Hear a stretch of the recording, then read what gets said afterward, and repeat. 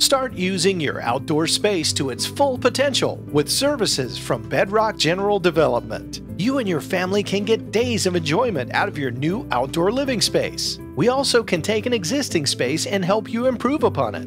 No job is too small or large for our expert landscapers. For professional service, give the experts at BedRoc General Development a call or visit bedrockdevelopment.com for more information.